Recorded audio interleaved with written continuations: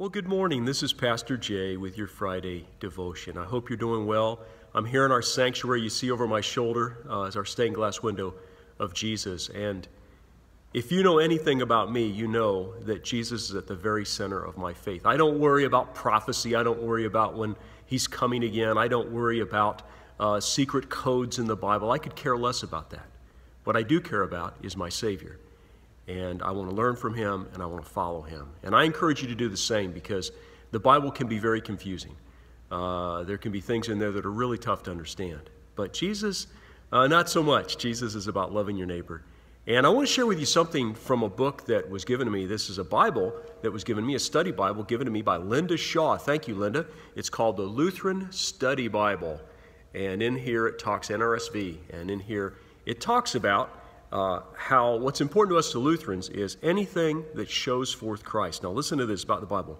When we Lutherans say that the Bible is the Word of God, we mean above all that the Bible is the book that reveals Jesus Christ to us. And by that we mean the whole Bible, not just the Gospels or the New Testament. Jesus we know and love is the Messiah of Israel, and so the Scriptures of Israel, the Old Testament, also reveal him to us. Sometimes I admit this happens in a kind of roundabout fashion. But eventually, everything in the Bible brings us to Jesus Christ. Everything in the Bible points us towards Christ and helps us to know Christ and to love Him and to have a relationship with Him, the Christ who is risen from the dead.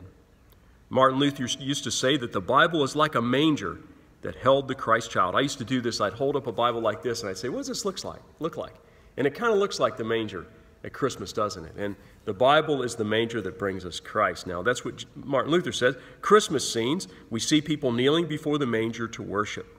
But they're not worshiping the manger, they are worshiping the Christ child who is in the manger. So, also, we do not worship the Bible as Lutherans. We worship the Christ who is found in the Bible, who is brought to us by the Bible.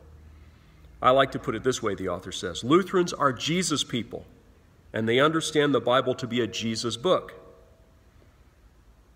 This is my own language, a contemporary way of expressing what I think is typical and traditional for Lutherans. So the Bible for us, it's all about Jesus. It's all pointing to Jesus, and it's moving us from Jesus into the future as we follow him. And this is my last in my series on our, you know, particular Lutheran beliefs. But I'd like to know what you want to hear about. Uh, do me a favor in the comments of this video. Uh, put down what you'd like me to do a devotion on. I'd be happy to, to try to do that. So Anyway, God bless you. Let's have a quick prayer before we leave. Heavenly Father, bless us on this Friday. Lord, help us uh, to look to your word and to see your grace in it. Help us to see it as your rescue mission, O oh Lord, when you sent Jesus Christ to bring us home to you and to give us the direction for our lives. So bless us this day, we pray, in the name of Jesus Christ. Amen. God bless you today and have a great weekend.